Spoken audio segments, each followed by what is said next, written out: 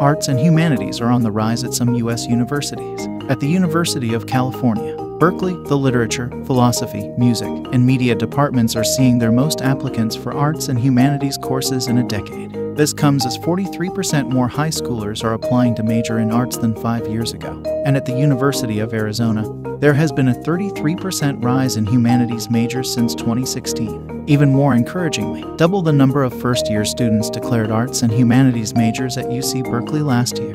And it's not just in the US. A UK report found that arts and humanities graduates were just as likely to be employed with their salaries after five years landing in the middle of the range. This is because humanity's skills such as communication, collaboration, independence, and creativity are increasingly sought after, even in unrelated fields such as tech.